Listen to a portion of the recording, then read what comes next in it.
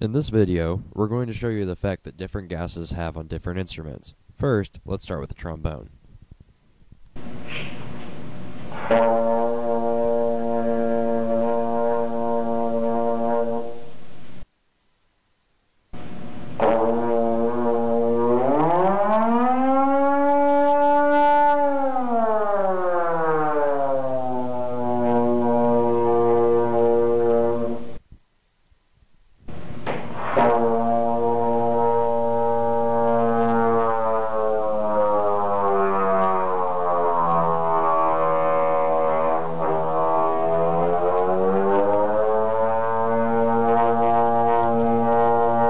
Frequency shifts are summarized by the following table. Now let's try a trumpet.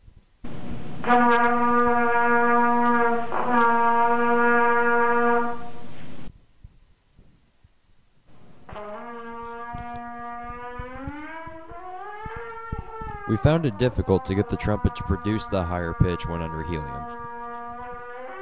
However, we're, we're able to analyze it and find a fundamental of 472 hertz. The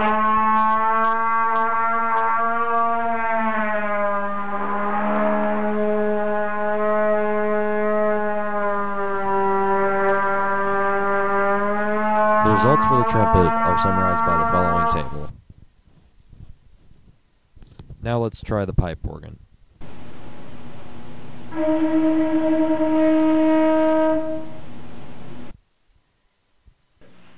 To create a controlled environment for our experiment, we took our pipe organ pipe and placed it inside a bag.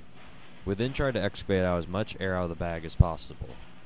Once this was done, we would connect a hose to the pipe and then allow the gas we wanted to flow through the hose through the pipe producing the pitch.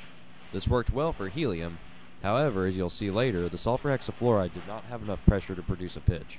So instead, we filled a balloon with sulfur hexafluoride and allowed the balloon to create the pressure to give us a pitch.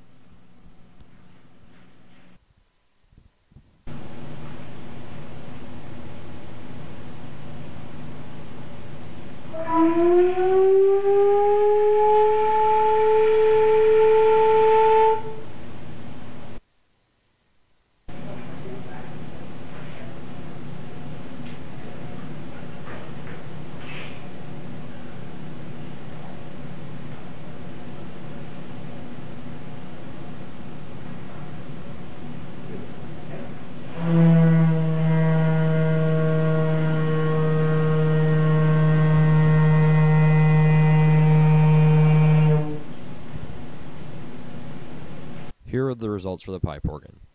Here is a combined list for all the results from this experiment. If we look at helium, we'll notice that it increased the pitch in every instrument by a significant portion. For the trombone and the pipe organ, it was very similar, around 246% increase. For the trumpet, however, we were only able to obtain a 197% increase. This is most likely due to our inability to get the trumpet to produce a clear pitch.